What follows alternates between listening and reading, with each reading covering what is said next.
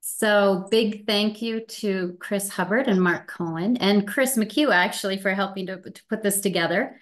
Um, this will be very exciting and a, a, timely meeting, I think, which I'm not sure, maybe seed saving is always a timely meeting, but it is the almost the first day of spring. So um, I will let you guys take it from here. Maybe Mark, you want to start us off and then maybe we talk for a little bit and then see you all shows up and maybe we can do some introductions.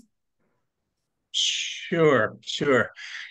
Yeah, uh, welcome everybody. And uh, just to remind everyone that this is uh, kind of a part three of a series that anybody who hasn't seen the earlier recordings, I believe uh, at least one of the links is on the email that went out. Um, then there was one before that. And the general theme has been resilience and basically looking at strategies for basically conserving biodiversity as a primary um, strategy for resilience. Uh, so I opened up with with a lot of big picture issues, and then last last month we basically uh, navigated our way to seed seed saving within that piece. So uh, I would reference those for people who might want to get a little bit more background, um, but not not totally necessary. Um, yeah, it's it's my great pleasure to to introduce Kris Hubbard. We met about uh, four four to five years ago, I guess, and um, uh, at the at the BFA conference, and um, I immediately um, was impressed with the work that uh, Kris is doing with seeds, and um, there was a there was a seed swap and and gathering there, and um, so I've been I've been working with seeds for a long time and thought that this would be a good thing share for the group. And um, I think today we're gonna I'll let uh, Kris uh, open up with uh, couple of his primary projects, but make sure that we have a lot of time left over to to do mostly Q and A today. Um, and that can be people who watched the videos and have questions from the past or um, or for anything within a pretty wide range of subjects that that are uh, welcomed questions. So um, I think everyone here got uh, got the material that that Chris uh, McHugh put together on on Kris Hubbard's work, and so um, I don't think we'll reiterate too much of that. Um, but I think what we'll do is um, is open up let uh, Chris describe a, a, bit of the scope of his work, which is quite large, uh, get a picture of that, and then we'll uh, get into some questions uh, among ourselves and from um, you know folks from uh, wherever you're chiming in from. Uh, so yeah, Kris, why don't you um, talk a little bit about the the feed Appalachia and and um, the seed rematriation projects that you're working on, and maybe just a little bit of whatever you'd like to share on um, on the work uh, that you're doing. Yeah, sure. Uh, hey, everybody, glad to be here. Um, as as Mark was saying, I've I've got really wearing too many hats. I guess I've I've um, trying to accomplish a lot of life works that I've been um, I've been trying to spread a lot of the knowledge around as best as I could. Um, so several years ago, um, I had started uh, a program, and it was for families in need throughout Appalachia. And what it, it was uh, based on was people who were um, displaced by flooding, natural uh, disasters uh, in the Appalachian Mountains uh, mainly Central Appalachia.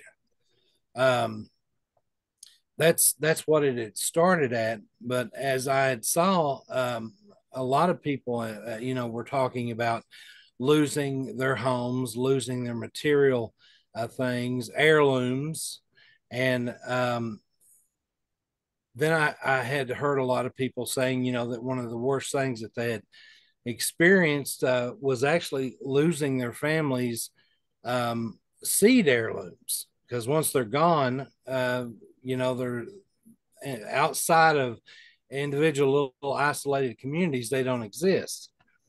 uh, which is another part of my work. Um, but so I had started this program, uh, started to give out um, seed to families in need. Uh, went everywhere from even um, children and things that were in apartment buildings and uh, urban locations that um, we tried to get like um, varieties that would be uh, good for bucket gardens or container gardens, uh, dwarf varieties of things. Um, so uh, last year I was I was able to give out over 300 300,000 seed packets. Um, which it was all all done uh, on my own. I, I really don't have any help necessarily for this. So I, I do a lot of the traveling and, and everything on my own dime. Um, prior to that, I had uh, traveled throughout every holler, if you would, um, throughout Appalachia, collecting uh, families' varieties, uh, whether they be tomatoes or corn, or especially uh, greasy beans, which are a, a, southern and Appalachian delicacy. It's a it's a bean that uh, a lot of people outside of Appalachia don't really understand what it is or never heard of it. So you've got um, this type of bean that can be either eaten dry or as a snap bean. It's called greasy bean because the actual hull of it has a, a greasy uh, look.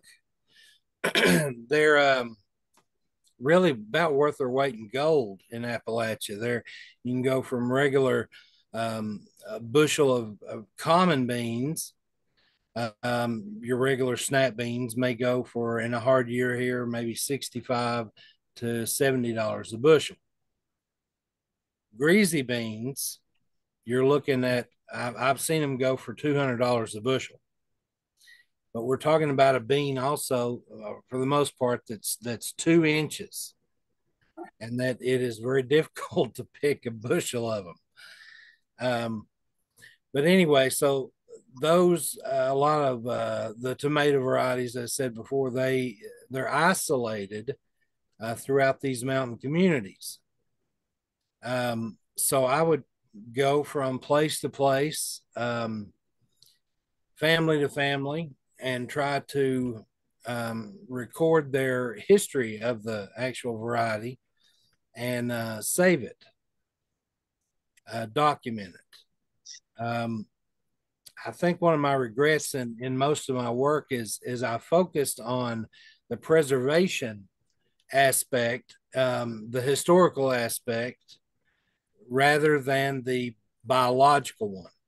Um, I, I did not record as much of um, the taste of the tomato or or necessarily um, how good it grew or the leaf structure or etc now i'm going back and and trying to uh, record that because um, that is a very important part of it uh, because that that opens the door for a lot of uh, a lot of information later on for genetics you know and diversity opening up the door to you know why is this particular variety good for uh, this climate, et cetera, et cetera. So um, I'm trying to backtrack and do that.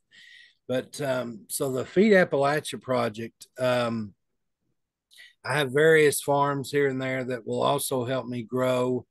Um, doesn't have to be rare varieties, but just heirloom, good old time varieties that your great great grandparents um, would have grown. You know, no hybrids, no GMOs and um, those that can be, you know, um, grown year after year and saved.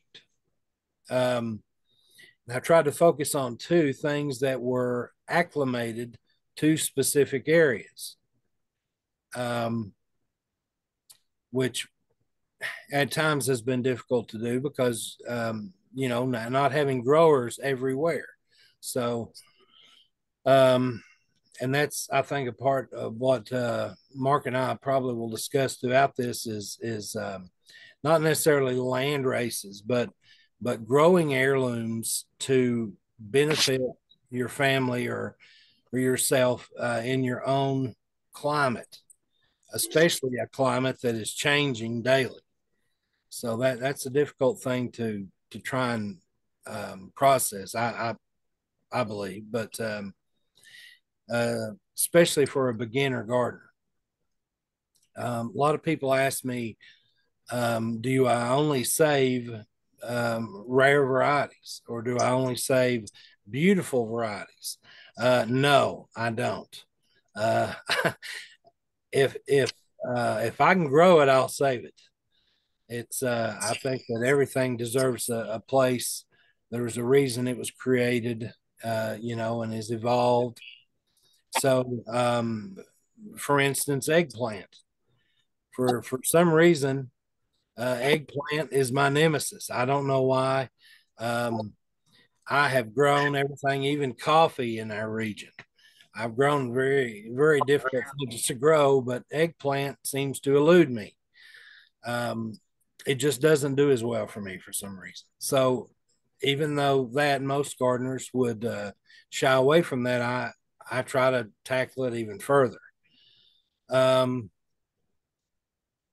so after a lot of the traveling throughout Appalachia, uh, I'd been to a lot of different countries and uh, collected uh, seed and and plant specimens, but uh, with Appalachia in particular, um, it's a very unique climate. Um, it's one of the oldest mountain ranges in the world. And a lot of our biodiversity is just, it's nowhere else. Um, we've got a lot of untouched lands, you know, still here in Appalachia. And Appalachia. Pardon? I um, think that was just an echo. If everybody who isn't speaking right now could mute, that would be great. Thank you. Um, wait a second. So I can turn the video. Again, with um, with a lot of what what I've done throughout Appalachia, I've I've tried to acquire um, family family heirlooms and seeds, um, especially those with history um, throughout Appalachia and Kentucky. Um, I I had um, started um, collecting seed as a as a child. Um, my grandfathers were both seed keepers, uh, one indigenous, one not indigenous, and um, so I've I've literally grown up um, with seeds, with gardening, with farming, um, tobacco farmers um, in my family, and um, there's always been that self of uh, that that feeling or or need for self preservation, especially in in here in Appalachia. We things are different here, so we've tried, uh, you know, to to keep ourselves uh, from drowning, if you would. Um, and saving seed, of course, is one of those things that throughout the world it really saves us as much as it does save uh, species of plants. So, um, through through that uh, collecting, I've I've done a lot, of traveling, and like I said, and we've um, got um, a preservation seed bank, and within that seed bank, um, are like I said, the Appalachian varieties. You know, like uh, the, the tomatoes. We we probably got um, just an estimation, but we I stopped cataloging at five thousand varieties. Um, and we've we've got deep freezers that have, have not been cataloged yet. So there there is an unknown amount, um, possibly tens of thousands with tomatoes alone. Um, it's a lot to keep up with. and um, I've I've tried to document as well as as I can, but things are um, getting a bit too big for me. So I, I need some help with things, and um, just trying to make sure that things are preserved for our future. You know, not not just um, for growing, but for also historical um, reasons too. Um, so the Indigenous Seed Rematriation Project, um, we've we've had probably over six thousand varieties that I've I've tried to uh, save from extinction. Uh, these are varieties that, oh man, they've some of them there may be one to five seed left on the planet. That's it. And so we really have to try and decide whether you know we should we should plant those five seed that that are left or keep them as biological samples. It, it's uh, a lot of pressure um, especially when you've got a plant species that's just down to that uh, small amount of survival. Um, but what i've tried to do with this project is i have collected and been given and been willed uh, thousands of varieties that were indigenous. Um, I'm a men's traditional dancer, so I would go on the powwow trail as a kid through teen, and then teenager and and uh, adult, etc. and I would be given um, seed at powwows. Um, I've been called in the middle of the night um, you know, people tell me that they were going to send me seed, and it's just I've I've collected in in multiple multiple ways. So through these the lifetime really of collecting, um, it was a matter of trying to keep them from being extinct. So I've got students that grow, and after we grow them, we uh, if they're depending on the amount of seed you know we, we need a good enough quantity to keep it preserved and uh, keep it from extinction. So um, sometimes that may only be you know a, a handful to a pound of seed. Um, once we get to that um, a safe quantity then i always try to rematriate um, which let me explain that word a little bit. Um, a lot of people are confused by that. So, in, in indigenous societies, um, most are matrilineal, they are uh, female or mother oriented. Whether the, you know, by the clans, you are accepted through your mother's side, not your father's. Unlike um, other societies through the world that um, would be colonizers, etc. You would you would hear, or uh, you know, European.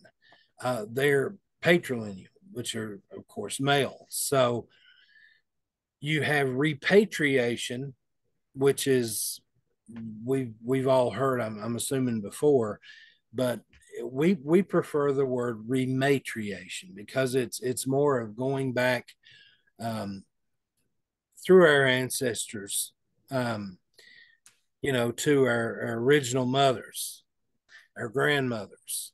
Um, seeds are an ancestral thing. They're our family. Um, there are mothers and sisters, and and um, like the word, you know, uh, in in Tsalagi, what Cherokee is selu. That's for corn. It's also mother. So you know, in a lot of indigenous societies, it's like I had said, it's it's um, mother related. So rematriation is where we try and take the seed that has been preserved and rematriate them back to their original peoples, whether it be the Ponca, uh, the the you know the Lakota people, um, Wampanoag, etc. It just depends where, wherever. Um, also within our indigenous collection, we're not we're not boxed into the lower 48 states. Uh, our indigenous collection covers uh, world, the whole world. Um, it's Alaskan and Canadian First Nations people to Central and South America and Africa and Papua New Guinea, Melanesia, etc. It's uh, all over the world, and um, sometimes uh, we we found that a lot of those seeds are are lost, um, and we all know why. Uh, various uh, problems throughout history um, that that has taken a, um, a, a side road necessarily that that we're trying to get things back. We're trying to um, take our seeds back to their homeland, back to their people, and in self, you know, uh, also return our food sovereignty. Uh, it's it's a matter of also in Appalachia. I'm I'm I'm trying to um, help people be food secure, and that's that's that's a problem that um, I think, especially now with inflation and and everything that's going on, is, is so important to, to feel and be food secure. And in that um, is possibly being able to, to uh, be uh, have your own food sovereignty over over your life and over your family. But so the Indigenous Rematriation Project, um, we've got over 6,000 varieties. Um, most of those have not been grown out and rematriated. That's the issue. Um, we need responsible growers to grow them. Uh, I don't want to necessarily say organically, but I want to say naturally without pesticides, without herbicides, etc., or any uh, chemicals. Um, want them grown as naturally as possible. Then they need to be sent back to us. Once they're sent back, like I said, after several different growers, um, then we can start the process of rematriation, uh, rematriating them back to their native people. Um, within that growing process, a lot of a lot of times I'm faced with um, a very, very low amount of seed. Um, for instance, beans. Um, I have um, been given literally uh, aluminum packets um, that were dated in the 80s. And we're talking 25 plus years old that had been in freezers. Now, out of those 13 seeds, uh, or excuse me, out of 100, say 50 seeds that were uh, acquired, this is for a particular ponca bean, um, only 13 germinated. Uh, one actually produced. So out of out of that entire packet, there was one, one plant, and we had enough seed to be able to propagate it. So um, you know, it's uh, sometimes it's it's very thin odds that we're able to uh, keep them from extinction. And one thing is when you get, you know, 10, 20 seeds or whatever, I have to make the choice of, you know, um, uh, letting different people adopt them. If I have 10 seed, for instance, I, I try to get uh, and keep two to three in our preservation bank uh, and then that seven, let's say, then I want to try and get seven other people to grow it. I figure the more um, experienced hands that are growing something, the more the more odds for better germination. Also, I mean, really, I don't, which I don't know. I mean, I, the weather here this year is kind of scary, but um, what's the chances of seven different people all over the world having flooding at the same time? So it's a matter of losing those in one, all your eggs in one basket. We're trying to stay away from that. So that's uh, a large a large part of our adoption process. Um, along like with the uh, Feed Appalachia project, it's it's all funded by myself. Um, I I don't make anything. There's no money to be made. It's it's a matter of getting our our seed family uh, back into the hands of of their original keepers, uh, back to their original homelands.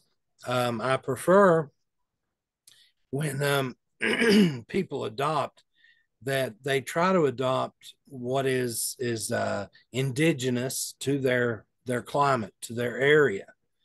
Uh, in New York, you would look for the uh, Haudenosaunee and uh, you know the Oneida and and so on, the Mohawk. Um, North Carolina, um, you know the Cherokee, Oklahoma, even the Cherokee and Choctaw and and so on. We try to keep things regional. Um, for those growers also that that we can acclimate them uh, and, and maybe bring even back a lot of the genetic past back in back into play. Um, so we we have those projects. Um, I also um, collect just other varieties. Um, it doesn't have to be vegetable varieties. We I have more flowers actually than I have anything. Um, we've we've probably got uh, over four thousand varieties of corn, and every single one of our corn is non-GMO, non-hybrid. These are some of them are ancient corn. Some of the most like the Chapalote corn is some of the most ancient that exists, and they're you know all from the Oaxaca Valley. Um, of Mexico. So a lot of Peruvian corn. And uh, what you get with a lot of those seeds um, is you really have to know what you're doing. Um, they have um, a daylight issue with their growing. For instance, uh, they have a very long season, they have a different climate. So most of those seeds won't produce for a normal gardening season here. So there's there's a lot of tricks. They won't germinate in light, for instance. They have to be left in the dark. Um, and some of the Peruvian corn is 20 and 30 feet tall. And we're talking cobs that are a foot and a half, two foot long, easy. Um, some of some of the actual kernels are bigger than a quarter. So it's very, very unique varieties. Um, that are often, uh, unless, like I said, you know what you're doing, it, it can be difficult. But um, I do want to talk today with Mark and others about, um, you know, even even your common backyard gardener. Um, there is no reason that seed saving cannot uh, be a, a, huge part of your uh, gardening experience. And um, you know, there there's a lot of um, issues, for instance, with I, I know with with new gardeners, uh, ones that that love doing it too, especially uh, get overexcited, so they'll pick 50 varieties of tomatoes to start out with, and each one of those they'll they'll grow 100 plants up. So and all of a sudden, they you know, they're very overwhelmed. So um, there's a lot there's a lot of uh, in and outs to seed saving, I would say. Um, where where are most of uh, of our Zoom people from? I know I had one, uh, obviously Ohio and Chris McHugh's Connecticut. Um, are we from all over the United States? Or are we out of the United States?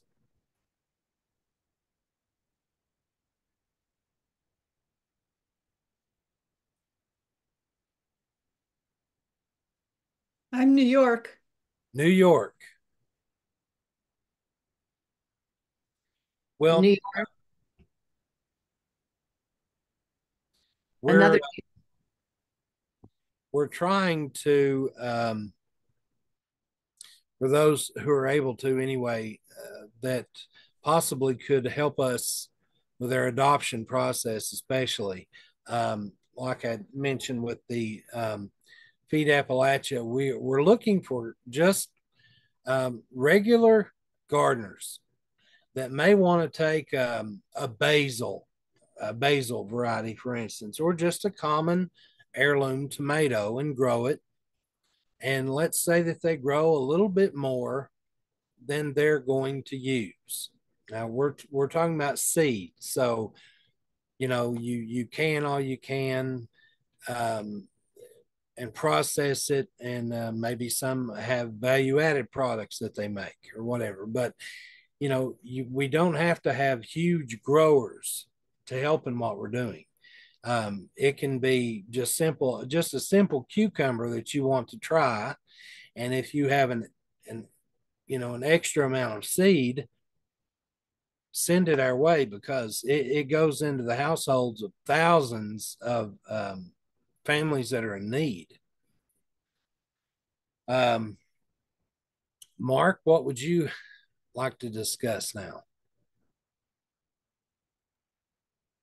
Yeah, that was a good uh, good introduction, Kris. Um, I think there's a lot of I have a lot of questions. I'm sure other people do as well.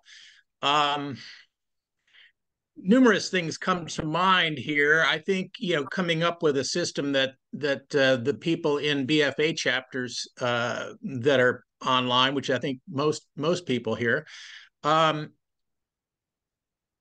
how we can basically uh, help. And so you know, other than you know. Um, I, think one way is to receive seeds and grow them out and return them and, and keep those uh, keep the pressure off of those rarer ones as much as we can. And I think people with smaller operations could also consider things that don't cross too easily and also make a lot of seeds per plant. You know, things like amaranths, for example, you know, one, a few plants, you're going to have enough seeds for everybody. Um, I do think, though, we might want to um, address a couple questions uh, that are, I think, pretty relevant, which has to do with seed size. Like when you're growing seeds out, I mean, when you get down to the last couple seeds, you're kind of in in trouble depending on which kind of plant you're talking about. But um, wanting to have a, a, a little bit of a, a, diversity in your in your seed selection of what you're saving. I noticed this. Uh, you mentioned corn.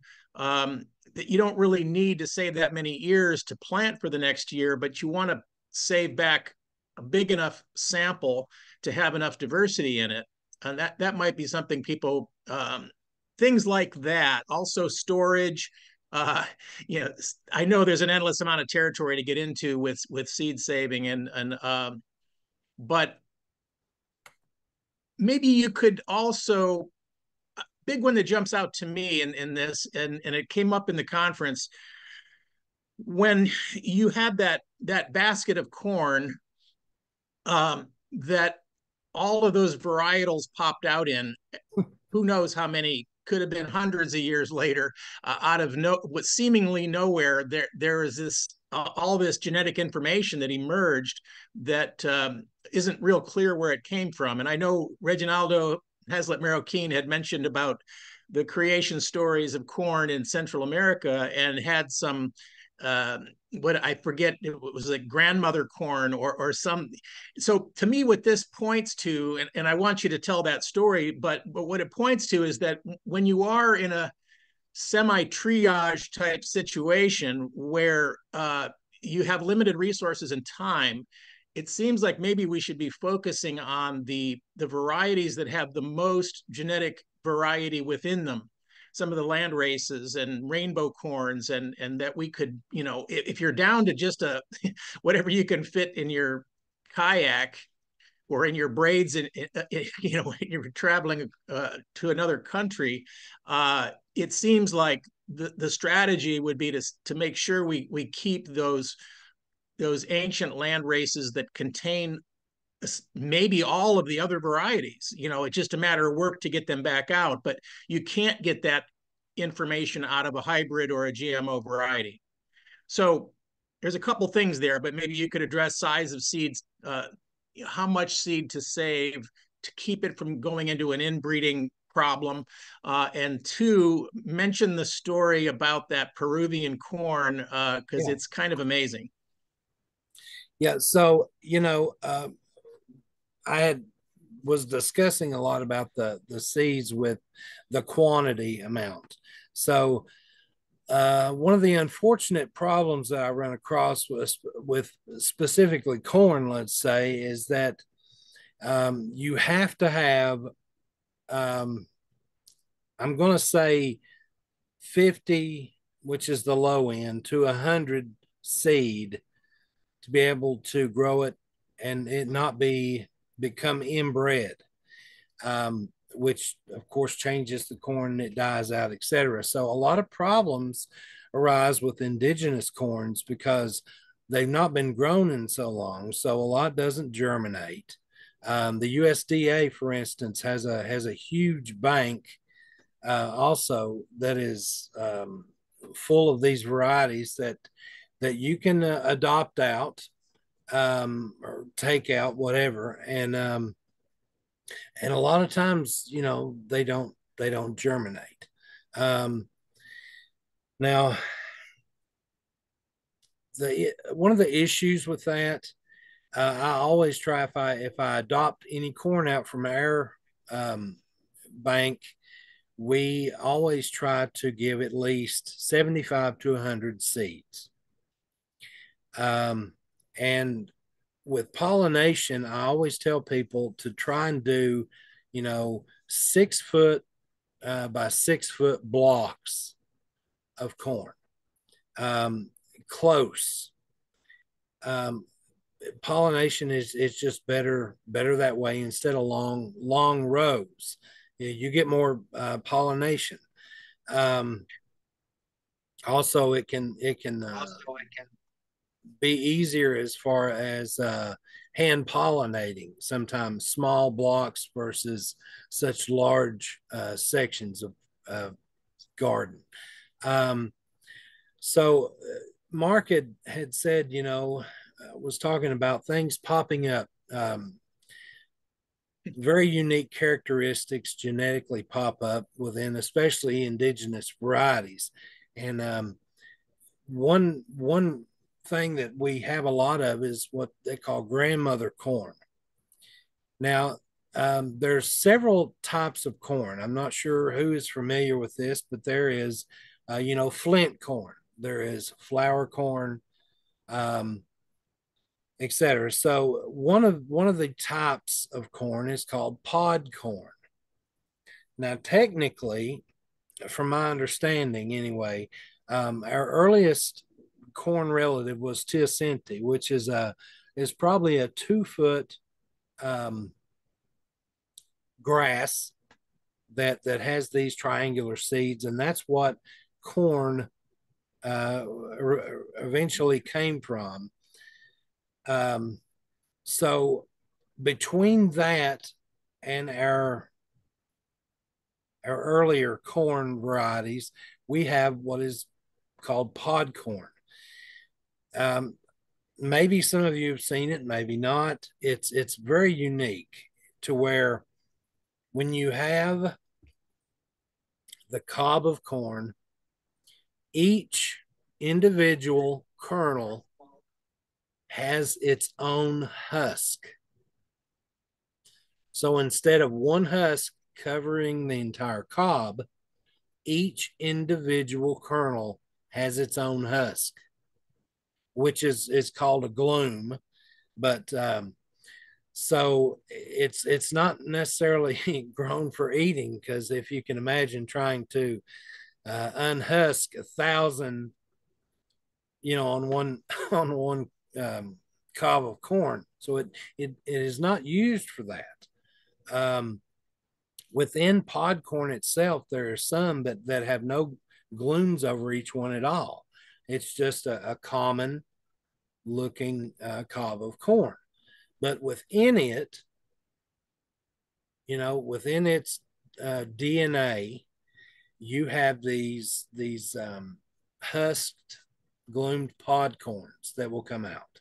So in a lot of our more ancient corn, a lot of our indigenous corns will grow And every once in a while, there'll be uh, a grandmother corn.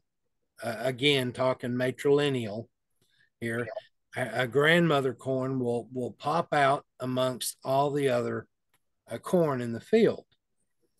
Now, most would would take that out, um, but actually, what what we do is we leave it first off. Um, and one of the reasons we do that comes into um, cultural um, reasons. For instance, um, those corn are, are, often used as, as a part of divination.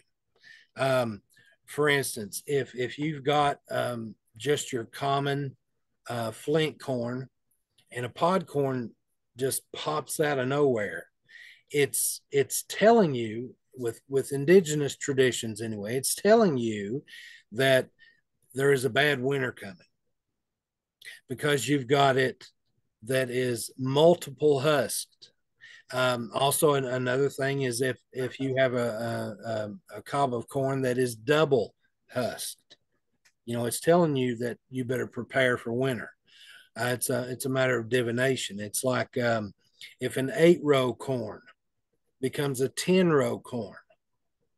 You find a 10 row corn. Well, that's telling you, you better save more than what you, you know, than what you would normally save. Um, it's like woolly worms, you know, woolly worms and Appalachia, you know, black and and brown, whether the winter's going to be bad, or persimmon seeds that are cut in half to see whether there's a fork or a knife or a spoon, whether you'll be shoveling snow or the wind will cut you in half you know. It's it's all a matter of cultural divination. So that that goes back millennia. But pod corn is one of those things that pops up that helps us with that um, so the peruvian corn um, like like the pod corn um, has a lot of ancestors in it it's you you've got to imagine this little minuscule um, little minuscule box or or treasure chest. And inside of it is millennia of information. We're talking about what our ancestors did 2,000 years ago in that particular area of the world with with their gardening with their agricultural techniques it's in that seed so when it is is harvested now sometimes our ancestors pop their head up so you have you have a particular variety of of let's say um, um, gourd seed corn.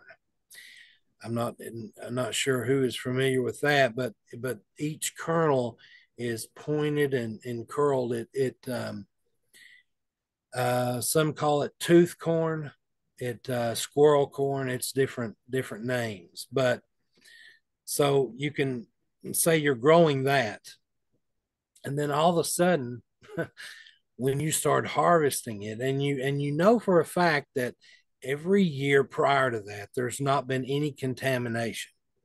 That's the thing is is with corn you know to save seed um, to preserve it, it it needs to be isolated.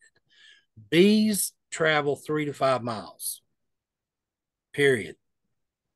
Now that's straight line distance, but you know, still, um, you you need to be isolated and hand pollinate when it comes to saving pure varieties.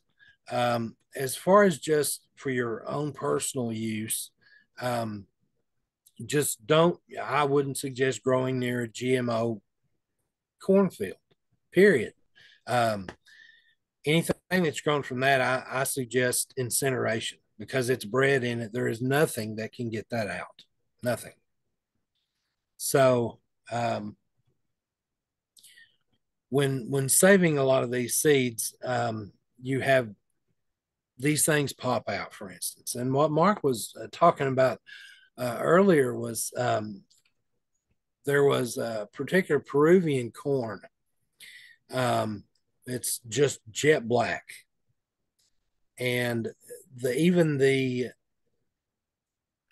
usually with if if you've ever noticed with colored corns, red, blue, when you break the kernel, the inside is white. Well, with this particular corn, this Peruvian corn, it's solid black. It's used to make um, different drinks. Um, it can be used as a sweet corn or, or a dried flour corn. But so you have this jet black ancestral corn, and you've grown it and grown it and grown it. And then all of a sudden, one year, you've got 10 to 12 different types of corn pop out. And what I mean by that is you've got a, a row of that black corn, and in that row, you've got a popcorn. And then the row after that, you've got a white flour corn. After that, maybe you might find um, gourd seed. I mean, it's all different colors and all different kinds also that will come out from that genetically. And uh, it's it's really an amazing thing that um, seeds can not only preserve, you know, um, our how can I say our involvement in their growth, but but also they preserve, of course, their genetics and all things that have been grown in with them and pollinated and and um, crossed with them. Now, with indigenous varieties, we're something with you know we were speaking. Uh, Mark was with resiliency and things that, that we need to grow as far as um, acclimated to ourselves our own in regional environments. So a lot of people don't realize, but indigenous varieties have, I mean, we've done that for millennia, for thousands of years. Um, you've grown 20 different squash that, um, let's say, you know, are, are all able to be, you know, they're all moschata or they're all um, Maxima varieties or, or whatever species, but they can all be crossed. And you just grow them together for decades. And you save you know those that let's say that the area floods. Well what survives it?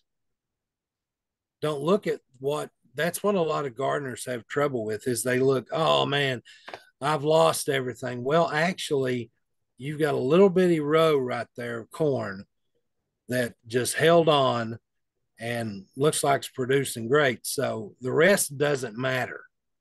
Collect from those things that that give us these gifts, you know, within our own environment.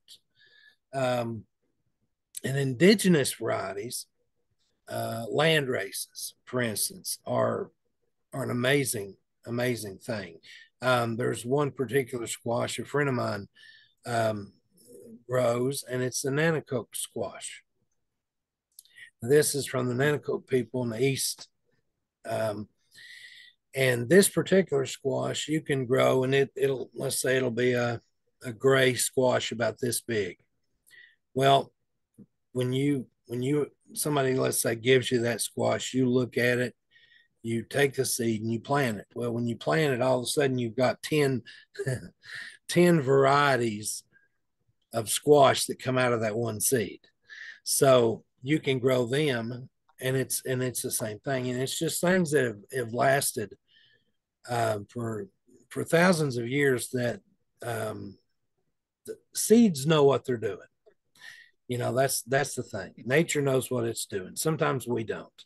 But um, so that's that's the fun about land races is um, with seed keepers too you know there's there's ones that are pre, um, preservationists like myself that um, it's it's really a matter of life and death of the plant, the species, that things are kept absolutely pure, hand pollinated, um, isolated, and that way that particular example is saved because you never know in the future, you know, um, a, a new disease may come out that that particular variety is you know would would save us from you know it it doesn't um it's not accept susceptible to it um you never know um but also it's a matter of the history you know preserving history but um with other, other varieties I, I tell a lot of gardeners you know grow what makes you feel good grow what makes you happy if you if you love a particular um just a mix of tomatoes. Grow the mix of. Don't be concerned with keeping things pure. Uh, and and I do I do warn about GMOs and and hybrid etc. That that's a separate subject. I'm speaking about growing for yourself in a in a healthy natural environment. So, you know who who cares if this squash crosses with that one because it's it's really a like Christmas. You next year you plant these seeds and all of a sudden you've got something that that nobody else has got, nobody else has seen, and it's new. And you know that's that's part of the fun of it. It's breeding, if you want to go down that route. Um, but but definitely um, grow what is going to help sustain you. I know um, I have traveled all over the place and have saved seed, saved seed, saved seed. And when in the very end of it, I found out, you know, that I was really the one being saved because um, it's it's a connection. Uh, it's like Chris McHugh, you know, and Mark known them for a very long time now, and they're they're seed family, same as the seeds, and you know those those things we have these connections with people that uh, normally we would not get, and seeds seeds are are things that connect us. They connect us to other people, to other places, but also to our ancestors and things that we should know but we don't now so it's a learning process. So I'm I'm hoping that that um, more people will will be involved in in growing their own gardens. I know um, I'm a beekeeper also, and I hear all the time, you know, well, why don't you have fifty thousand? You know, why don't you have fifty thousand hives? And I said, well, I would rather have one hive for 50,000 people than you know 50,000 to one person these these giant um, honey producers out west have 40 50,000 hives and they they move them and they um, pollinate different orchards etc with them um, and that's that's a lot like seeds too. You know, it's it's if we had more small farms, small gardens, there's more um, communities and and really building up resiliency to things that are coming. So, um, Mark, you got anything to add? well, you bring up some good points. I I, I think the quality and quantity uh, piece is really important uh, and it, it plays out in everything that we do and I, I think another thing is you're talking about growing things that you love i've been looking at i've been looking at gratitude as an input uh, more and more as time goes by it's in my list of fertile you know i don't even use fertilizers but minerals and inoculants it's it's kind of it's it's in there right so there there's this relationship in there and, and it's all relational it's all kin at the end of the day. It's not kingdoms, but it's more kingdoms. Um, uh, the uh, Alan Kapuler had put together some relational maps of the world's flora and uh, used those terms. I thought that was very useful. Um, I suppose we should open up to some other questions. Uh, I have plenty of others and and and can easily keep things going, but I want to make sure that other folks who have questions can um, can get in on this. And uh, that I find that that usually takes us in the direction that we need to go anyway. Um, so uh, I don't know, Shauna, do you want to field questions or just let people chime in, or how do you want to do it?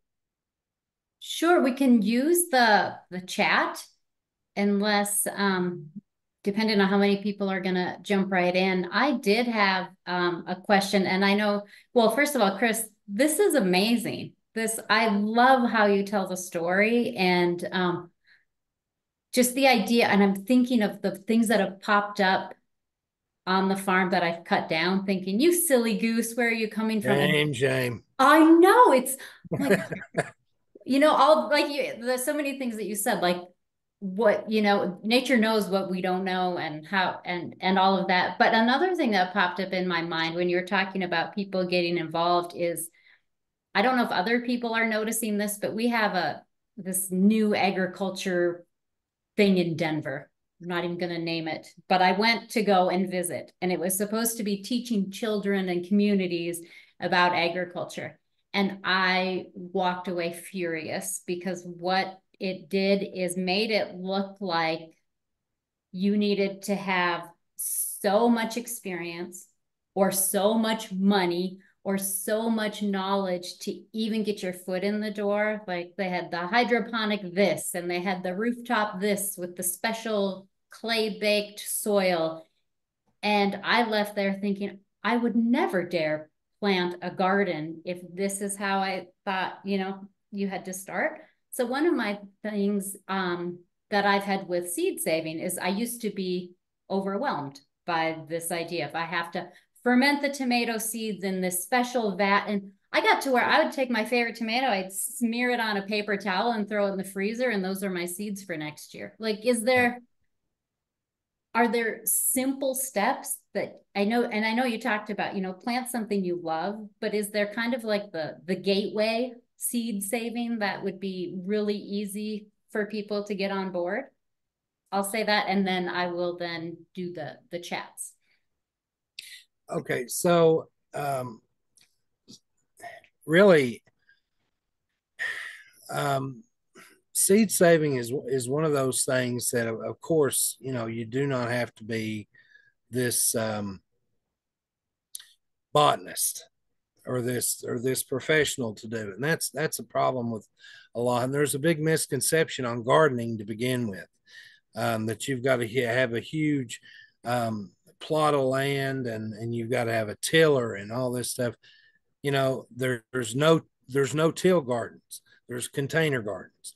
There's you know upright gardening there there is a million different ways to garden in every spot on the planet. So it, it's just a matter of what you're willing to do what you want to do. What what do you want to accomplish?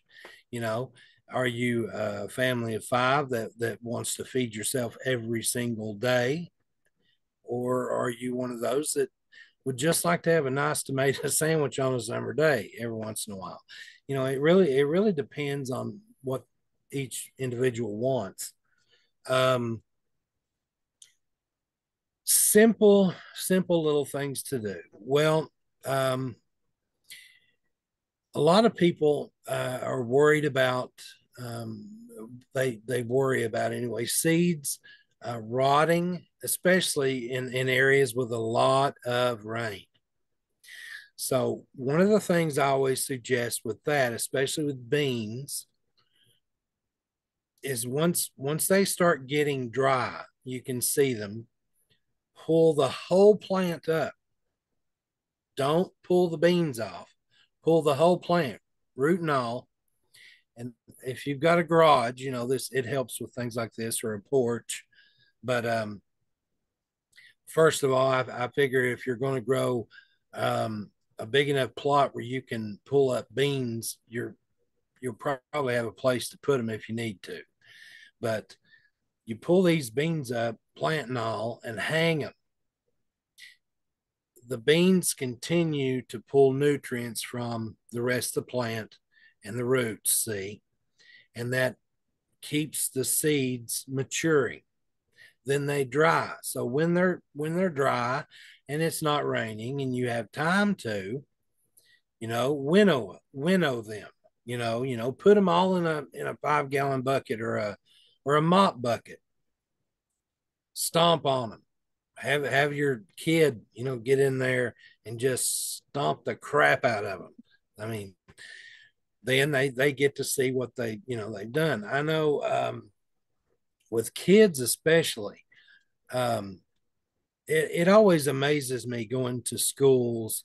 Um, I'd set up um, a seed saving curriculum and um, and everything for um, it's uh, kind of like a a curriculum, but also a seed starting, uh, gardening, and and um, seed bank curriculum for school systems, especially here in Kentucky. I've got a lot that that are already uh, using it, have been using it for years now, and um, uh, some of the schools produce all the food, you know, for for that school. So, you know, we're talking about a lot of kids, a lot of mouths to feed. But one one of the programs with that um, is actually is is forming clubs, etc. You can even get help with, you know, like your um, that school district's FFA, you know, Future Farmers of America, that that one of their credits is tending this garden during the summer. That's the problem with a lot of school systems stuff. It's like nobody is there. Who's gonna who's gonna tend this? You know. Well, there are ways around that. Um,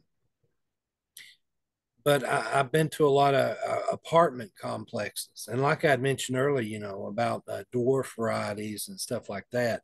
That that literally, you can you can have tomatoes that are you know a bush this tall that produce plenty for yourself. You know, um, but I've, I've found that kids really are are the key to a lot of of, of future future growing and seed saving. Adults seem like um, you know it, it's hard to get them on on board with a lot of stuff because life is very difficult. Life is busy, so it's a matter of making things easier for yourself. So, like like I was saying, it it depends on what particular um, plan that you have. Um, Can I qu- ask you a question about hanging the beans? Did Yeah. you mean upside down or right side up? well, you you can take them right by the roots and just hang them up. But Just- but the other roots up or down? it, it doesn't matter as, Oh. as, as long as as they're whole you know it's it's still going to travel. It's still going to pull nutrients from the actual vine. So you could even lay it on a rack kind you of You could yeah. Yeah um, a lot of times what i would do um, we've been farming around and we're, we're in the mountains so i can literally look and i can tell about down to 30 seconds or so when rain is going to hit us i can see it and i know i've got so many minutes to do whatever i need to do before it starts raining so that's one thing you know that I'm I'm glad where we're at. But we I've been out here and we've um, just grabbed as many beans plants as we could, and we've just tied them all together and just hung them up on a porch. Um. So it so. Go ahead. I was gonna say that's great, and I like the idea of incorporating the kids. I know my kids have always, you know, like anytime they open up those pods, depending on which bean, you know, I say it's like Easter, like they're beautiful. And Yeah, you- like jewels. Yeah. We had uh, another question from Ellen. Um, if we're going to grow out seeds, do you pair us with seeds that make sense for our region? And how do we get seeds? Like how how can people Okay. participate? Okay, so I had mentioned earlier about you know um, acclimating seeds to your region, especially those where um, uh, Miss Best here is in New York. Um, I would definitely try and send her Mohawk seeds, um, seeds that are that are native and in in native to the point where they're they're from those indigenous people of that area. Um, but sometimes that's that just doesn't happen. Sometimes I have a um, a really responsible grower from Connecticut, let's say, um, where I need um, a variety from Florida grown, and sometimes it just has to happen. Um, but you also have to realize these seeds, a lot of them, have not have not been grown um, by their native people anyway in 200 years. We're we're talking seeds that have been displaced, um, some that have been inherited by outside families, you know, uh, and been uh, gone all over the place. That that ponca seed I, I mentioned earlier. Um, I was in Gatlinburg, Tennessee, in a candle shop and I was just looking through candles, and this little uh, elderly German lady standing next to me. and I don't know why, probably gardening or something, we started talking. Um, and I like to talk, so it's it's easy easy easy to to get in touch with people that way. But so I was speaking with her, and uh, she had mentioned that her neighbor had this bean that he had grown for years and hadn't grown it in forever, and it was in his freezer. And he was German, a German family from North Dakota. Well, long story short, that bean made its way from that retiree's freezer in Florida in that aluminum um, pouch that was dated 1987 that was the last time it was grown. And that was 2005 when I spoke to that lady. So I'd got those seeds that had been frozen in that freezer that long. Well, before that, um, before 87, it was, it was no telling, maybe 20 years since it had been grown. So we're talking uh, a bean that for the past you know, century has only been grown a couple times. Um, amazingly, that German family was, I don't want to say married into, but was a part of the original Ponca that had been um, moved from Nebraska into the Dakotas and so forth and so on, back and forth. And they lived right at the um, the fort and reservation. So originally there was um, a bean, a squash, and a corn. The squash and the corn no longer exists. Um, it is gone. So that bean is the only known bean for those Ponca people in the world. And it was hiding out in a retiree's um, freezer in Florida. So that just goes to show, you know, that that they don't have to be from the region, but I I prefer them to. But sometimes uh, growers, good growers, are just you get what you can take, you know, because it's That's a a- matter of saving. That's a great lead into this next question from Ethan. Um, would you go into what you consider when looking for responsible growers? And if you were to put together a toolkit, both literally and skill set, what would be included? Well, one being in the BFA, that's a pretty good start. I mean, um, you're talking about you know natural growing and nutrients in the soil and soil health and good gardening practices. Um, a lot of times, you know, um, I have to take a chance. Um, sometimes the adoptees, I, I don't, I don't know that well. So it's, it's a matter of, you know, um, getting advice from other people like, well, you know, I trust these people. Well, then they become adoptees. You know, it's really, um, a lot of people what i've found honestly is is they don't want the responsibility because it is responsibility they don't want that on their shoulders they they feel like well if i mess up if i mess up you know it may be gone and they they just cannot they don't have the heart to even try well it's definitely going to be gone if you don't so that's where I've got thousands of years weighing down on me that I've got to get these seeds planted. I've got to get them back to their homes. So, as far as credentials, you know, it's just if you have good gardening practices and you're not a a Monsanto GMO troll, then yeah, I'll probably give you seeds to to plant. Um, so as far as where to get the seeds, um, usually uh, uh, you contact me through my email, um, which I can I can give to anyone they they would like, or um, we also have I think um, the rematriation project has a GoFundMe. So, if for instance uh, you don't want the responsibility of growing, but you still want to help us. The GoFundMe is a great way to do that. Um, funding, um, like I said, I, it's all out of my own pocket.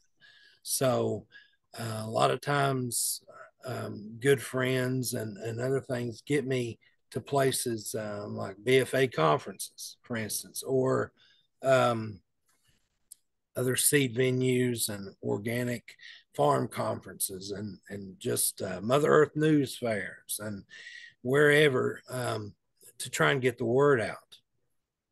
And um, so I'm I'm always in need of of uh, the financial help, but as far as growing and adopting seed, um, you can email me and I'm happy to talk things over with you, uh, even on uh, Facebook.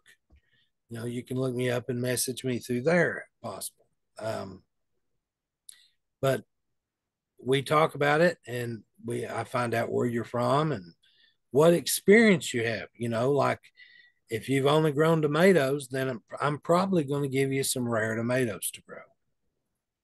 Um, or some beans that are not necessarily as rare as as some and that's where a lot of like what i was talking about with the feed appalachia program um, they don't have to be rare i mean i give you the seed um, let's say that that uh, you you come to me and you say well um, my husband and i our kids we want to grow um, a tomato, a cucumber, a bean, a squash, and maybe a corn or something.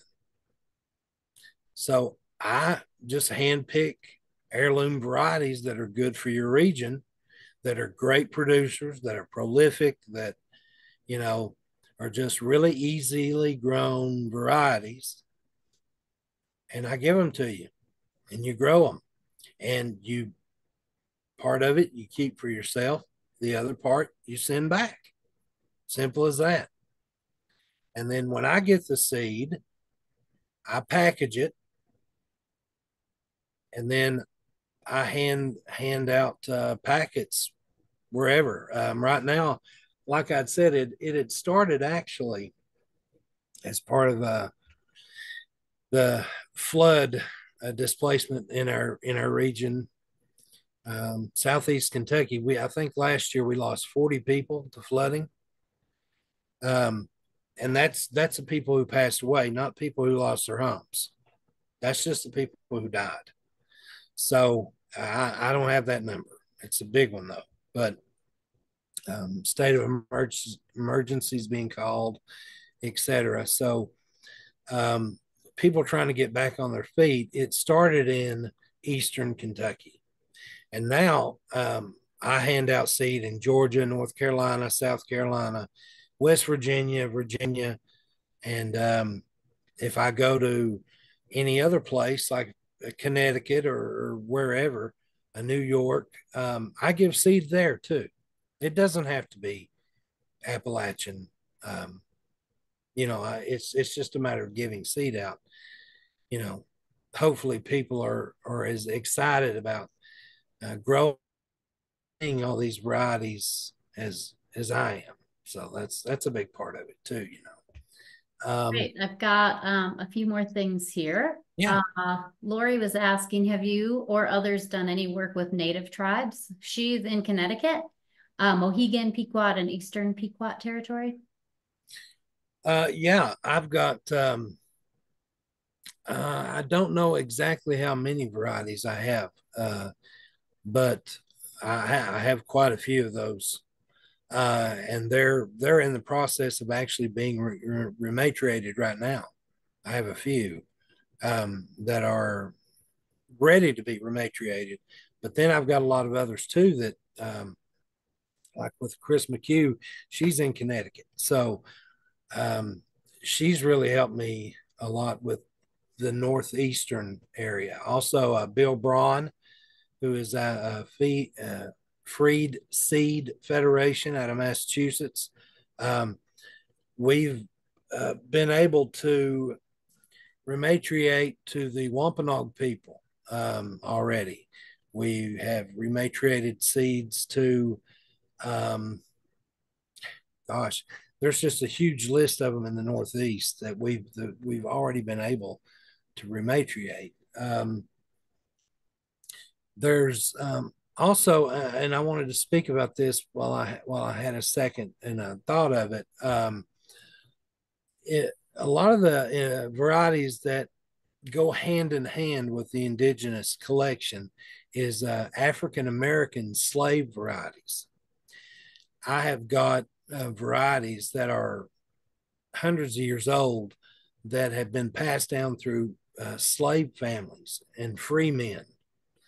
And um, a lot of times in in those time periods um, you had tribes that would absorb slaves and so a lot of times when they would bring seed over uh, whether it was braided in their hair uh, etc from africa you know western africa they would bring these seed over and through Georgia and, and Mississippi and Louisiana, you had all these parishes and plantations that were growing these seeds, okra, for instance, okra, um, cowpeas, etc. Now, I've, I've been able to um, save quite a few of those varieties and Melungeon varieties uh, also.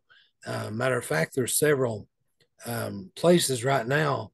Um, Ujamaa seeds uh, have got a couple of varieties of, of mine that have been saved. Um, I think there's a Ezell fisheye cowpea. That that came from uh, uh, the Ezell family. Um, also, you know the Catawba uh, Freeman okra that was um, a very old variety that that has been saved and now it is available, you know, um, to everyone publicly. So um, every year I try to release, um, I try to release a hundred to two or three hundred varieties every single year, um, which you know that may sound like a lot, but in but in honesty, um, it's not. Because you've got six over six thousand just in the indigenous collection that that I'm uh, that I'm trying to work on. And and when you when you do seed save, you've got to realize that seeds also have a shelf life. The way you store them matters. You know, everybody Mm-hmm. tells you dark, um, cool. That's okay. But if you really want to keep them and keep them a long time, freeze them wrap them in aluminum. Well, put them in plastic, then wrap them in aluminum foil. The reason aluminum foil is so good is because one, it keeps the moisture the seed had in it in it. Also, it keeps any excess moisture out or like freeze drying that happens naturally. So when you when you put herbs for instance in the freezer if you leave them long enough they're dried. I don't know if you know this or not but they're they're naturally freeze dried. They're preserved. So that happens with seed too. Well seed if if it's not protected it will die. It's a living thing. So i suggest wrapping them in aluminum foil. And just like from personal experience some they'll they'll last decades um, but freezing seed can turn a bean seed that that you would have for two to five years into 10 and 20 years. And that's just that's commonplace. That's not something eh, out of the ordinary. Um, Kris, I have a, another question here from Chris McHugh. And she was asking, are there any seed swaps coming up that you will attend so people can come and meet you and other seed people and acquire some seeds there? yeah, that's something I was going to mention too is the seed swaps. Um, you know, um, I talked a little bit ago about connecting. And you know, some people have passion, whether it's uh, tomatoes or, or or they love beans or corn or whatever. Well, these seed swaps are, are just great because you you go there and you become a part of this annual gathering. And it becomes a, a like a family reunion. Um, it, it really changes you. It it it guides you into where you want to go as far as your seed saving.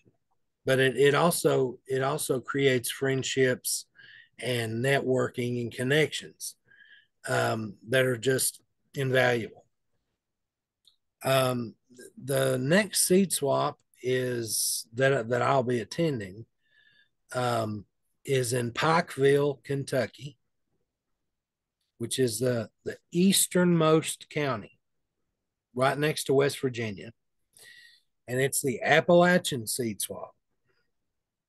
Um, sometimes we'll have um, a thousand plus people come through there. You do not have to bring seeds if you if you don't have them. You you don't have to um, do any kind of trading or anything. A seed swap is you can go there and there are seed vendors you can buy from. There are um, people that just you know would like to trade. They uh, let's say that you've got a, a wonderful calendula flower that you've been growing forever and you just got some extra seeds. So you take them and you can take that little pack of seeds and you give out so much to this person for a, a new tomato you don't have. Then you give out some for this person and you've got a bean or another calendula or whatever. You know, it's a lot of uh, trading, but it's it's a good way to get a lot of varieties free if you can't afford to buy them. Um, but also, when you do buy them, you know, uh, you're helping these independent small farmers um, not only feed put food on the on the table for their families, you know, but but also continue the seed work, and that that's a very important thing because um, seed saving, you know, in, in America anyway, most of our farmers are over 60 years old. That's the statistics. Uh, I'm, I'm, from what I've heard, I think they're 64 to 65 year old is the average age of the farmer across the U.S. Now, what do you think is going to happen when this group of farmers goes? It's, you know, it's it's about youth. So it's a great thing for kids and uh, especially those with families, you know. But so the next seed swap is the Appalachian seed swap in Pikeville, Kentucky, and it is April the 6th coming up. It's a Saturday. Um, and if this tells you anything, um, usually what we do is is we all come in on a Friday, we okay. meet, we have dinner. All the seed savers, eh, all the vendors, we have dinner. Next day we get up and we have breakfast together. Then we have the seed swap. And sometimes we only see these people once a year. Um, but like I said, it's great for networking. Um, usually there's not a lot of seed swaps in the summer. We are too busy gardening and farming to have a seed swap. But um, what I try to do is this year, uh, especially, I'll be hopefully traveling a lot and um, giving out seed. Great. Uh, let's see. We had a couple more things coming in. I had a question uh, for Chris McHugh real quick. I don't know if you'd be able to add um, Chris's email to our chat. And then if you had information about that seed swap, I don't know. I just thought maybe you would. If you if you could put those in there, that would be great. Sure. Yep, I'll do that. Thank you. And then there was a question from Blake, and then I want to piggyback a question on there too, and then maybe Mark will have some some follow up questions. So this is from Blake. What about genetically diverse landrace seed? And do you catalog any landrace populations? So those are two, and I'm going to throw one more in there as I've been really curious about the matriation process. Is that a ceremony? Like, how do you give the seeds back? So if you had a story about that, I'd love to hear that. But there were, so three questions in there I threw out all at once. Okay, okay. so um, the the first question exactly was what about genetic the um what about genetically diverse landrace seed? Do you catalog any landrace populations? Okay like, like i'd said a lot of your indigenous varieties are landrace. So uh, an appalachian too like with a lot of livestock you know you have these breeds that have been landrace breeds for for a century or so. Um, I I do not do as much um, of the uh, land race and and Grex growing as far as um, acclimating and, and breeding and trying to cross and pick out specific varieties. My job has mainly been um, conservation, you know, preservation. Um, I do work with a lot of uh, varieties that are that have been I don't I don't want to say bred, but naturally bred, and uh, land raised varieties that are are acclimated and great for your surroundings, your region. So um, as far as our collection, yeah, I've got thousands of varieties like that. Um, but do I specifically um, focus on those? No. Um, because I, I believe what, what I'm doing with, with preserving things from extinction automatically the the genetics and everything that are in those seed are have been proven for millennia, especially with indigenous varieties. I mean, there's a reason they still exist, you know. Um, but we, I, I, work with a lot of different people. um, there's Nate Kleinman, and he has a uh, environmental uh, experimental farm network. Um, you can buy a lot of our, our uh, seed through him also. Um, also, there is um, like the Ujamaa seed. Um, but uh, people like Chris Smith, which I'm not uh, sure if you're familiar with him, but he he is a uh, James Beard Award winning uh, fellow. Uh, he's from England. He's a great guy, and he is an mm-hmm. okra expert. And one of the the okra that I'm responsible for saving in in our collection is called a Moody, the Moody family okra. Well, this okra, uh, come to find out, is an extremely rare species of okra that is is unlike most others. It's a West African variety um, that that very few varieties exist out there of it, and um, so it was very neat when you have this little round okra seed and then you plant it and find out, oh wow, you know, it's something that um, is very rare, uh, beyond its historical um, rareness and and you know that. So, um, within that, it's just amazing to look and see um, how seeds their journey. You know, they'll they'll go from places like uh, I've got peppers from Haiti that have, have come over and, and, and settled through uh, Florida, uh, Louisiana, through different um, parishes there. Um,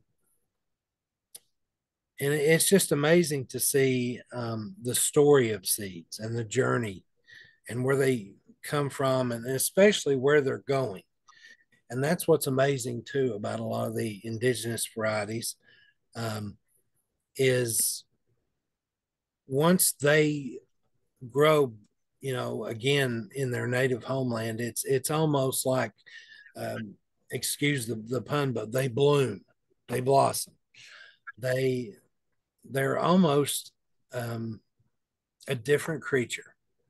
It's like they've been held captive, and it's like they know the soil, they know the earth, and that's you know one of the biggest blessings in what I do is is not just to see um, a specific species goes go back to its people, but also its its homeland. You know, now, we've rematriated quite a bit of seed. Uh, one particular um, one particular variety was a sweet corn, and it is a, it's multicolored. It is a blue, uh, white, and it's purple.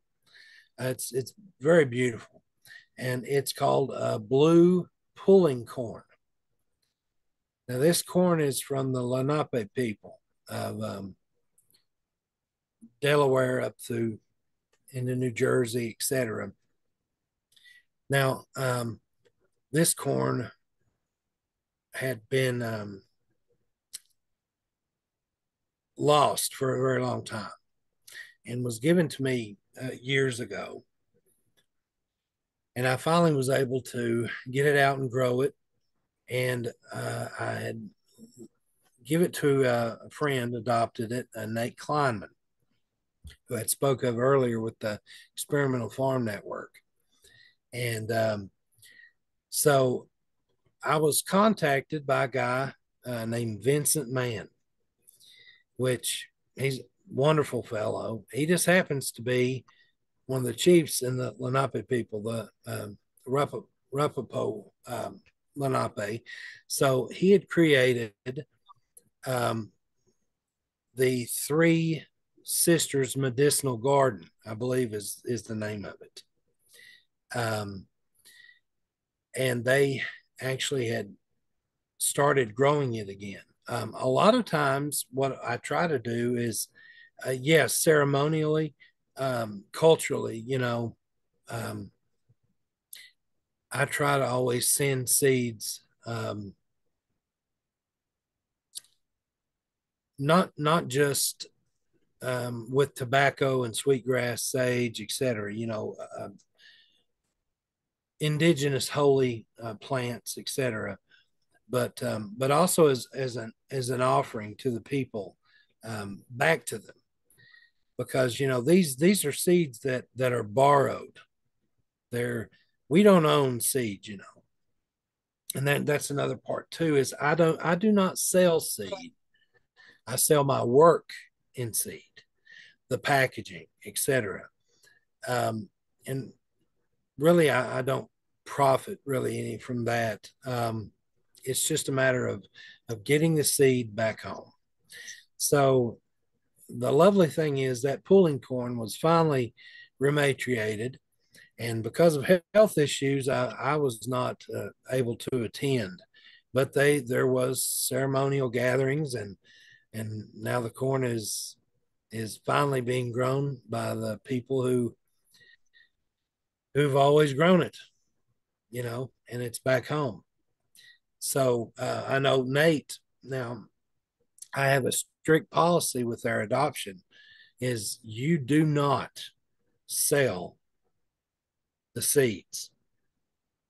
You can give them you know but you do not sell them um, so Nate, with with Vincent Mann, it's actually they had they had decided to let um, the seed go public, and so they were selling it within the experimental farm network, and all and like fifty percent of the profits were going to that medicinal garden.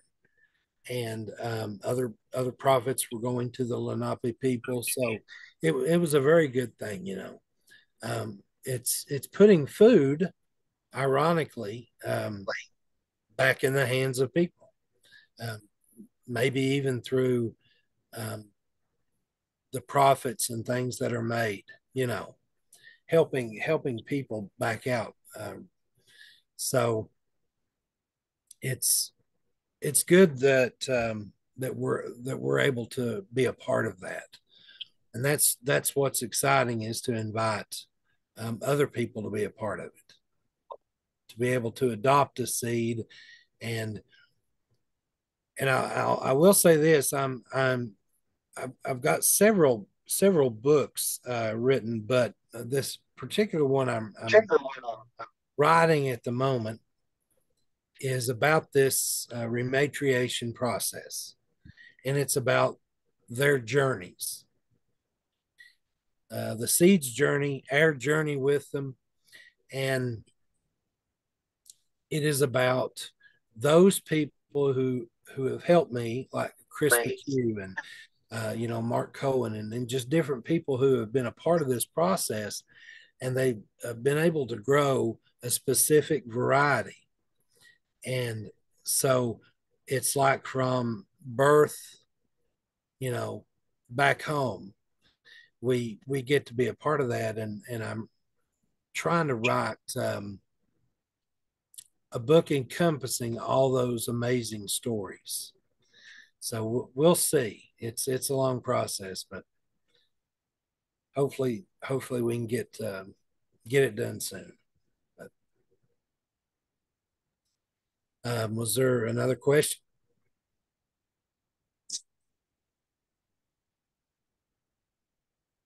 I was going to see if Mark or Chris had any questions for you or specific things they were hoping you were going to mention. Yeah, I, I've got a few odds and ends. uh, I think that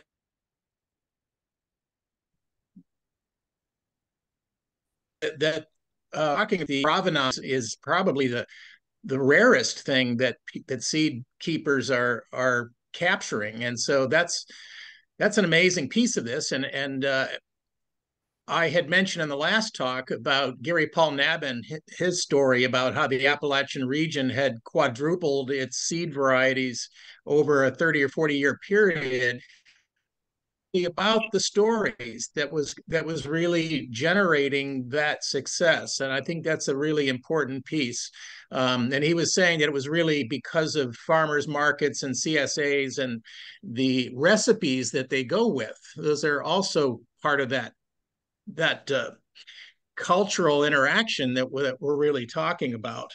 Um, another thing, uh, the, the, Cumberland Seed Commons gathering coming up in uh, in Kentucky, in Berea, Kentucky, on the uh, twentieth to the twenty third uh, of April as well, um, is another event that's worth worth noting.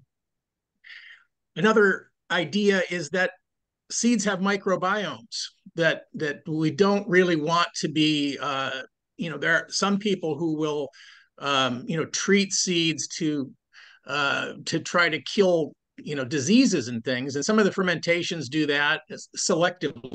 Um, but again, uh, James White's work is showing that it's it's critical that some of the organisms that that come from the plant and the soil that the seed grew in stays in those seeds um, on those seeds. Um, just as a, another piece of this. Um, you were talking about uh, hanging beans and and cleaning them, and I think that the uh, the innovation that happens on farms in general is interesting. But I'll, I'll, tell you a quick funny story about beans. I was getting to the point where I was growing too many to do by hand, and I had gone up to uh, uh Michigan to buy a combine, uh, one of these pull behind combines. And I was talking to the guy uh, about it, and he says, "Well, what are you doing now?" And I said, Well, we took this old chicken plucker, and that, that was as far as I got. I mean, the guy burst out laughing. He knew exactly what, what we were doing. But basically, we took a chicken plucker with the rubber fingers that go around. We put a piece of plexiglass over it, and then we would hold the groups of dried beans plants in there that were had been hanging, and the rubber fingers knocked them off. So it worked pretty well at a certain scale. But I think that uh, it's really a process of learning. And I, what I want to make sure that nobody listening uh, thinks is that this is too difficult or dangerous or risky to do.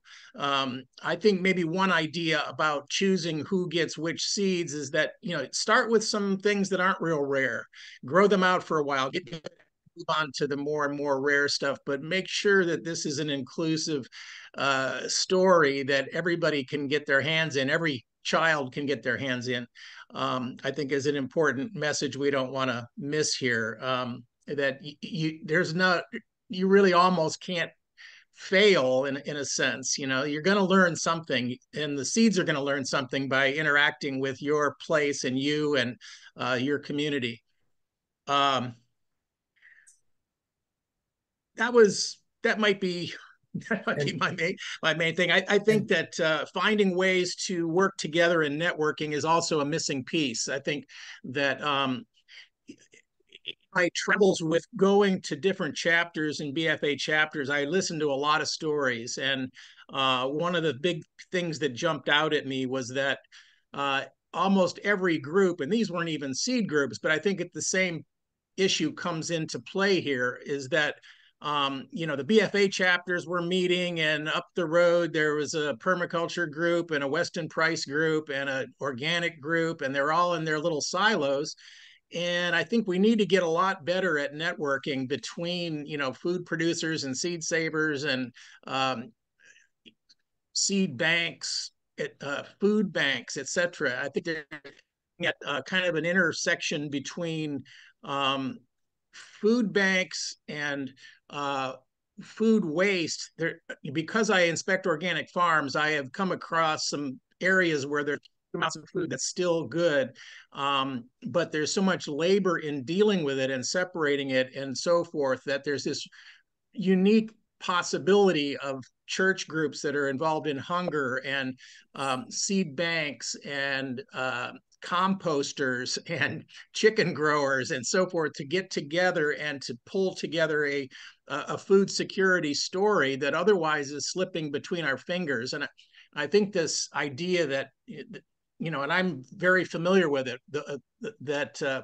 people who show an ability wind up getting a huge amount of work heaped on their shoulders usually by themselves because they know why it's so important uh, that somehow as a community we need to come together and lighten those loads on the people that have the heaviest load. I, there, I have a, I had a model where we had been carving out a dugout canoe in the jungle in Central America, and it you know for weeks, and it finally got to the point where it was roughed out, heavy, and it took about twenty people with ropes to pull this thing through the jungle to get back, and and then carrying it on steep slopes, and there was enough people to carry it uh, comfortably on flat ground, but we got onto this slope and there would be a point where three quarters of the people would lose their footing and one quarter of the people were holding that load. And uh, anyway, there's these different, um, you know, ideas, but it, but this is really what's happening out there to a large degree is that we don't have uh, a distributed enough model for um, most everything important. And I think part of this work that we're talking about is building networks that get the important things done without burning out the the the best among us. So, and that that that's definitely kind of a an over. Sorry. No, that that definitely is an issue. Um, you you get a lot of people that, um, especially, have done it their entire life, depending on, you know, what it is, and um, it gets it gets to be too much. And that's that's about where i'm at you know is that's why i'm i'm trying to reach out to a lot. And um you know you had mentioned about um starting with something simple you know well we've got thousands of varieties of seeds thousands of different species so it does not have to be like i'd mentioned earlier just extremely rare or on the verge of extinction like i said it it can be just preserving a simple uh, family variety from Appalachia or something, or or just wanting to feed a particular group um, within your community.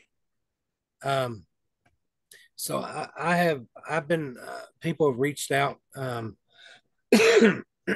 from Harlem to Brooklyn, all over um, these boroughs here and there to do community gardens and city gardens, rooftop gardens and um, so I'm I'm trying to. Um, I was in Massachusetts not not long ago, and actually, spoke to a group um, that were wanting in uh, I believe it was Detroit to start a another um, community garden, and there's already a couple going there. Um, but yeah, starting small, it's it doesn't have to be overwhelming. Like I said, you you need to find out where you want to start, what you're willing to do, what you want to be the end result. You know, um, with seed saving, it's and gardening, um, it's it's all fun until it becomes work. you know, everybody it's it's a hobby or it's fun, but the minute it comes work, they want to drop it.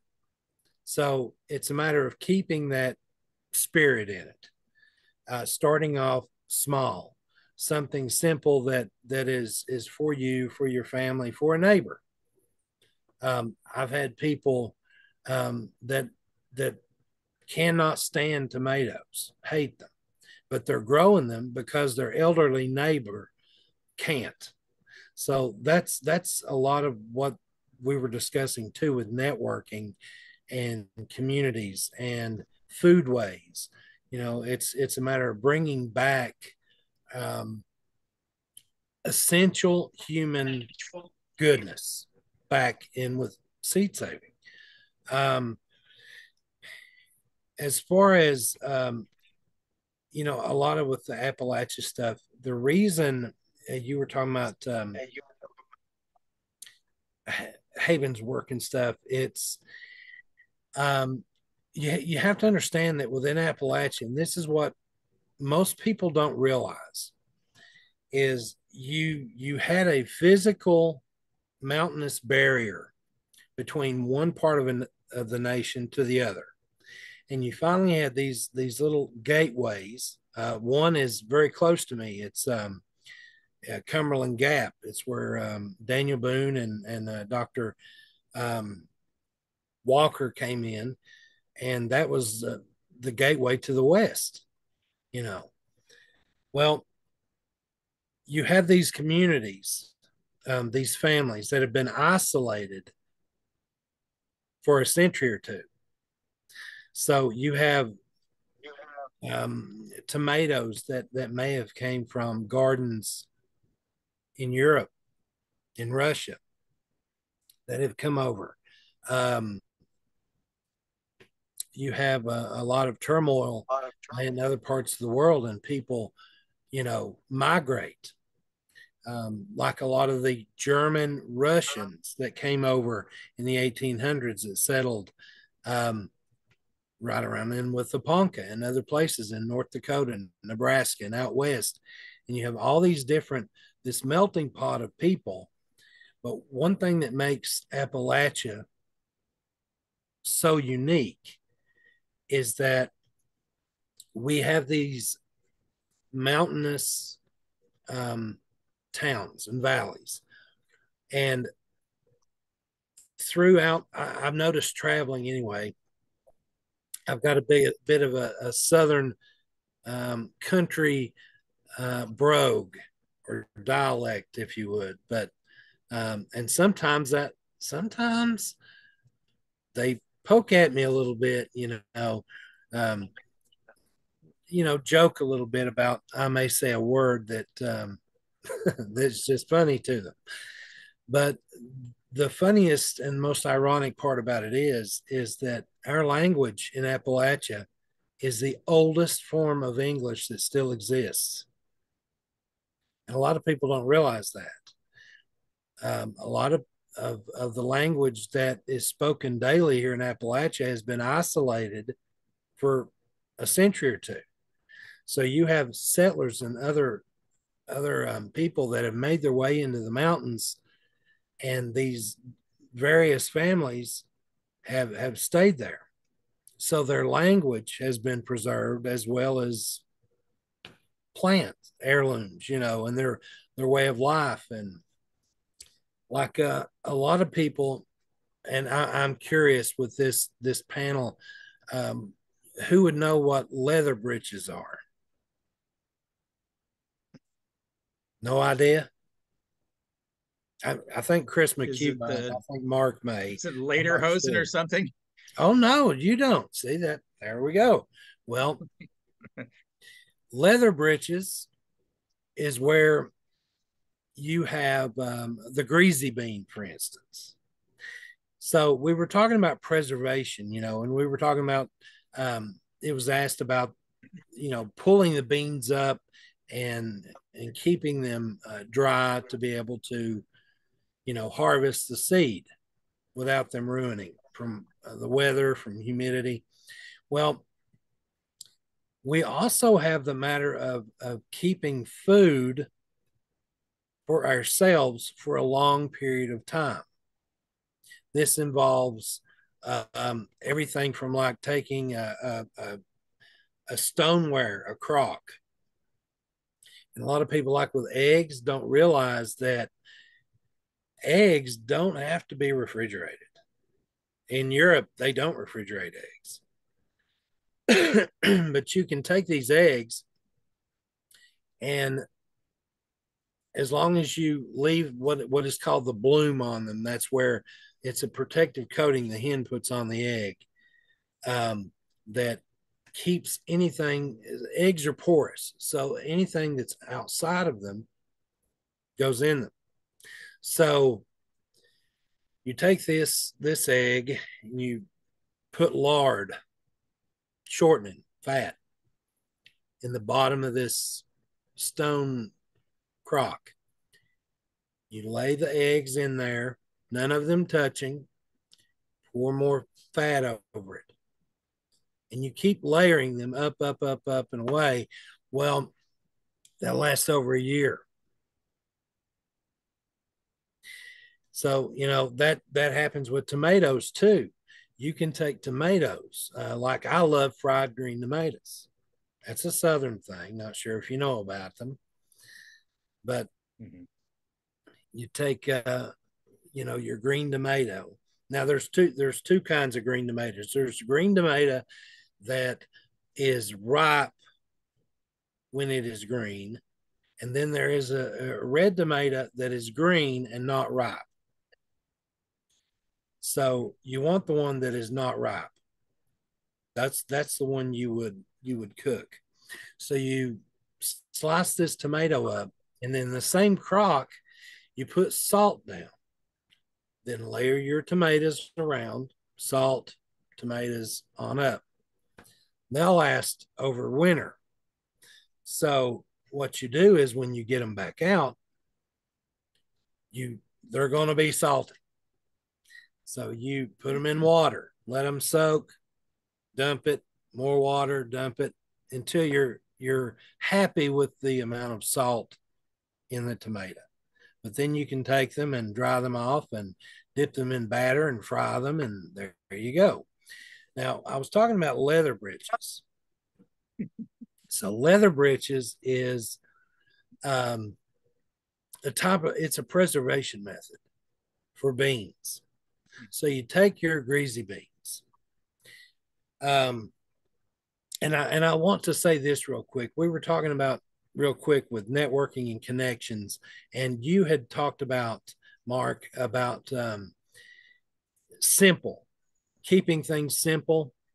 Uh, sometimes instead of like the winnowing, you know, or using different things, it's best to do them by hand and and do them with your grandparents do them with your aunts and uncles do them with your kids or grandkids or whoever because um you know in the end it's it's those when you're a kid you think it's nothing but chores and you're sick of it 90 degrees on a porch you know uh, stringing beans and it gets aggravating but when you look back on it those connections that were made over over beans and seeds last longer than anything else. So back to the leather breeches, in preserving them, you you would want to string them, then break them in half. So when you break them in half, you just put them in a basket. Then you need to take needle and thread, and you double over the thread. You start with your bean and go up through so if you have your bean here like this, you would go up this way, not through the end of it, but through the middle of it. So then you would just layer them like this, needle and thread up through them. So you would hang them. Do not hang them in the direct sunlight because it it it just ruins them. It, they get too hot, too quick, but you need a cool, dry, breezy place. Hang them up for a few weeks, and they have a consistency of like leather, like they're tough, you know. Well, you may have heard shuck beans, shucky beans. Have you ever heard of that expression name? Well, that that is what they become. So you would take the beans once they're dried and preserved. You'd take a handful, however many you want. You soak them overnight. So, like with the tomatoes, you empty the water out, put more beans in, more water. Um, so after that, then you would boil them till they're cooked. You would add uh, hog jaw or bacon or fat back or whatever you want to use as a flavoring, which the the good part about greasy beans and the reason they're so sought after is they already have a meat flavor. Mm. They're very hearty. So sometimes you don't you don't have to add that. But but anyway, so they, it's a it's a matter of preserving preserving the beans. So, um, but yeah, in Appalachia, it's it's it's all about isolation, and that's the reason there are so many varieties. It's because if you take a ten mile stretch of what we call holler, which is is just a road that goes into a mountain, into a valley, um, you may have ten families there. Well, each individual family may have their own tomato and their own bean. So that can even happen within just just a mile's length. So in one county, you could have thousands of varieties of this of, of just tomatoes. And um, you know, a lot of people would would say, well, wouldn't they wouldn't that just all be the same? Well, not really. Um, because different people have selected for different things over the years. So you may have one that that um, that liked the green tomato over the red, or or the size of it, or this may produce better than that, or or whatever, have a different taste. But but um, it's very, it really is a specific and individual thing. So it's it's amazing to be a part of uh, preservation like that. Well, this has been an incredible two hours. It flew by and I'm still like, wait, more stories, more like, tell me more. So, um, thank you so much, Chris McHugh and Mark Cohen for organizing this. And Kris Hubbard, thank you so much. We had so many thank yous and round of applause from people listening in. This will be recorded and I'll share it with our chapters and chapter leaders and want to encourage people to, you know, if chapters want to reach out and do this, reach out to Kris and then document and communicate with each other. I think that's a huge takeaway is do this with your families, do this with the master gardeners in your community. I know some of the BFAs have demonstration plots. Have a little spot where you're showing how to save seeds, make it easy and fun. Ellen, I know you'd work a lot with school groups. There's just so many ways it sounds like we can help support you and be part of this. And we'll also share the links again in that recording with the GoFundMe um, links for the organizations you're doing because this is this is great. Um, and thank you so much. Thank you all. Thanks, Kris. See you. See ya. Love you guys. Bye, thank you. Thanks for hanging in there. Thank you. Be in touch. Great.